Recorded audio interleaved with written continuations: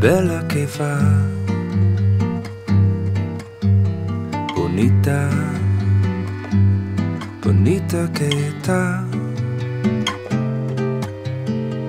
belle, je ne comprends pas français.